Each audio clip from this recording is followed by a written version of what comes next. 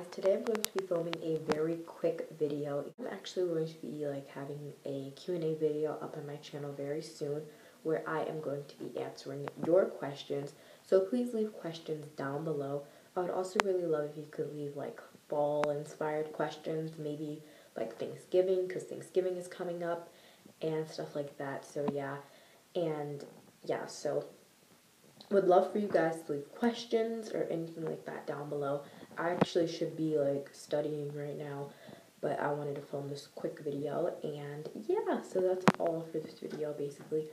But the end, to talk to you about something really good.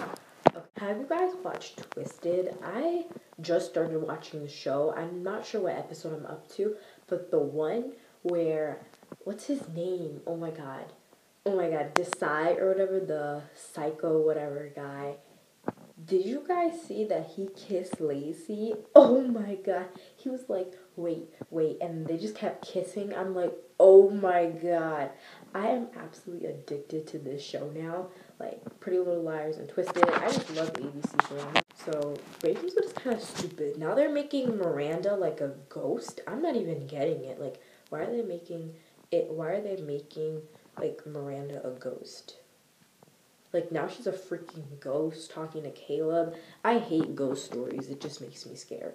So I gotta go now. Um, comment down below if you want to talk about TV shows because I love TV shows. Like Desai why are you kissing Lacey?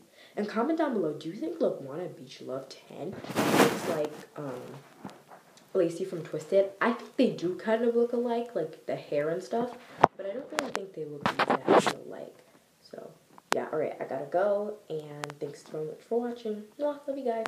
Bye.